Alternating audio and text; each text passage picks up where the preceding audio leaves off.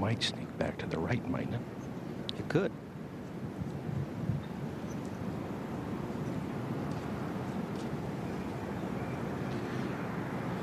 Tension-filled moments. Oh, goodness.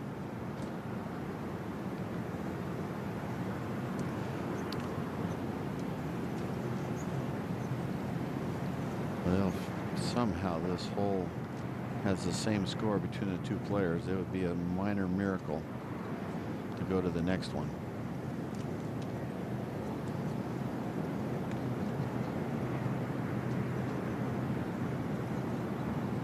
This to win now for Tiger.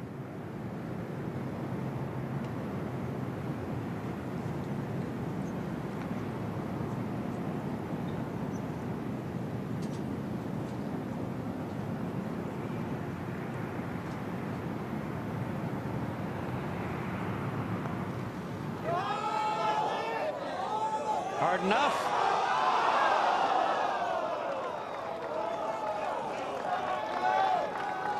That one put him on his knees. Yeah, he wanted. He doesn't want any part of watching Rocco putt. Well, can Rocco do what Tiger's been doing to golfers now for years? Watch this reaction. Goes down, down, and Rocco saying, "Is it gonna go? Is it gonna go?" That's a great shot right there, isn't it? It's Rocco and his caddy Matt Achatz. You still got another putt, Rocco. Lily said at the start of the day, "I cannot believe that I'm in position. I have a chance to win the U.S. Open Championship." And you know, Murph, running through his mind, we've talked about it all week long. He, in most likelihood, will never get another chance like this. He might, but in this arena with Tiger Woods, probably not. It's a slow putt. Got to get it there, Rocco, for the United States Open. You got to get it there. This to stay alive in sudden death.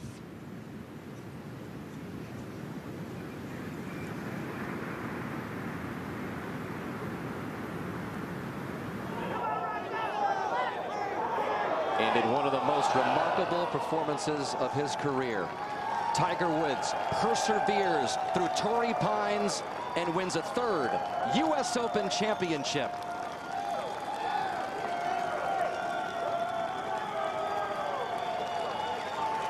Two good buds there.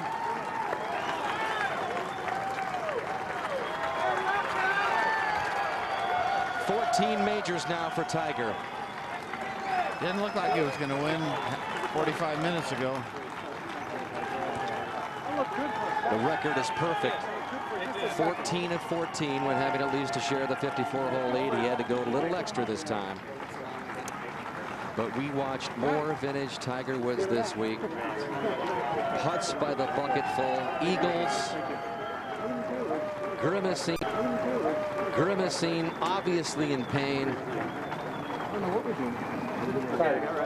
Does this man love Torrey Pines or what? That's two wins here this year, and of course this one way bigger than the first. And the first player to ever win on the same golf course seven times. Let's get down to Mark Rolfing. Rocco, when you look back on today, what do you think you'll remember most about it? Hanging in there with this man. He's so hard to beat, obviously. I don't, when I throw three at him, he throws that little 300 middle of the ground. He, he's unreal, but um, I, am fairly, you know, obviously I would have loved to have won. And um, I, I, don't know what else to say. It was, it was a great, it was a great day. I, they wanted to show they got one. I mean, I, three down through 10, I thought it was going to be over quick, and I just kept hanging bang. 19 holes. Everywhere you walk today, you heard Rocco, Rocco, Rocco. How does that make you feel? It was unbelievable. I mean, they were just doing it now. And, um, yeah, it's, this is huge for me. This is, a, this is uh, the putt I made on 18 just to stay here again. I, I, I handled it. Uh, I was nervous as a cat, but I handled it. So um, who knows, maybe next time I'll go one better. Did it ever cross your mind at all that you might not have another chance like this, 18 holes with Tiger, yeah, oh, Monday sure. playoff? Yeah, absolutely. It's, uh, you know, I had the putt I had on 18 uh, ago, I just said to myself, you waited your whole life for it. Don't lag it. You know, just give it speed. And I just yanked it a touch. A little nervy. But, um, I, I, I really can't really complain. I, I, I did the best I could. You didn't win the U.S. Open, but what will this week do for your career? Um, hopefully, I, I get to playing it again and a few other things, and um, it just showed me that I still can compete, obviously, and I, I want to keep competing. Is that the most important thing you learned about yourself? I just I never quit. I never quit, and I, I've been beaten down a few times and came back, and, and um, I got I got what I wanted. I got a chance to, to beat the, the best player in the world, and I, I came up just a touch short, but I, I think I had him a little scared at once, which was great. He just said, great fight to me, and that means the world right, right there. Congratulations, Rocco. Thank you. Dan? Well, here's what it means for his world ranking, Mark. He jumps 111 spots in those world rankings into the 47th spot. But that doesn't matter too much to Rocco. He wanted so desperately to win his favorite championship, and in the end, he succumbs to what everybody else has through the years. The greatest force to ever play this game. Tiger Woods keeps racking them up. 14 major titles. And now just the sixth player to win more than two U.S. Opens. And his wife Elin congratulated him, his uh, agent Mark Steinberg. Camp Woods has had so much success and we're going to hear from Tiger when we present him the trophy in just a moment.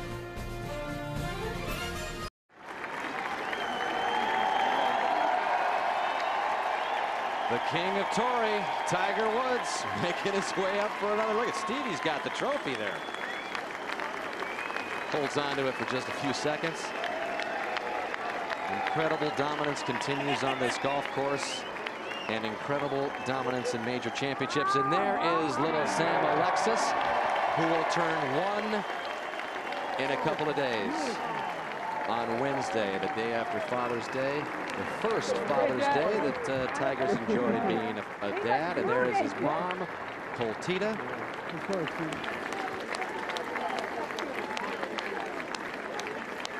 The closest major championship that Tiger's won to his hometown of Cypress, California. Winning his third U.S. Open in his home state. Little Sam's been dragging around some cut down clubs.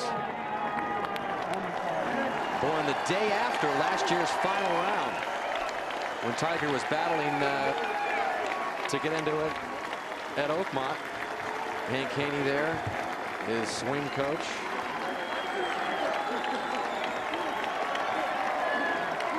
I think that's why winning here at Torrey Pines is going to be right at the top of the list of all the great memories he's had because of all the family and the local flavor growing up here in Southern Cal. It's uh, and the fact that he was up against the wall. Uh, Rocco put him up against the wall and said, I got you. And he said, not quite yet. Tiger's so proud of her. He's, yeah, little Sam wants daddy. Come on, Tiger, take her out there. Maybe he'll take her out to the presentation. Tiger in the past has always kind of had Elin and Sam on the perimeter of the green, but little Sam wants to be right out there. He's got to go to the binky here. yeah, that's great. That's a nice scene, isn't it? Torrey Pines has been Tiger's binky. Yeah, that's right. so dominant here safe haven for him. It'll be interesting to hear what Tiger says as far as where this major championship ranks being in his hometown here and getting through the third surgery on that knee. There were times during this championship, not a lot of people thought it might happen.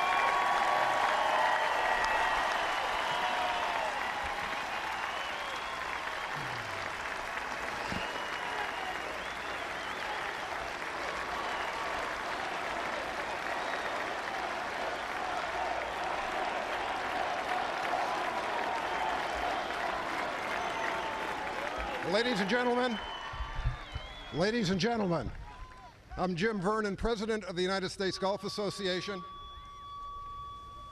How about that? Please join me in welcoming our 108th U.S. Open champion, Tiger Woods.